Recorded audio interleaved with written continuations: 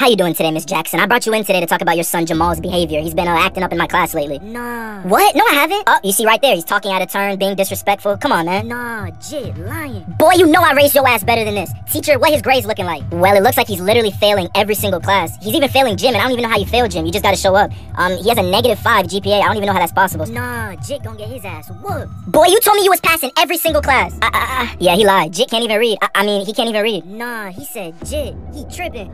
Jamal, I want you to think about this ass whooping I'm gonna get you when we get home, cause it's about to get real crazy. Nah, Jit, dead.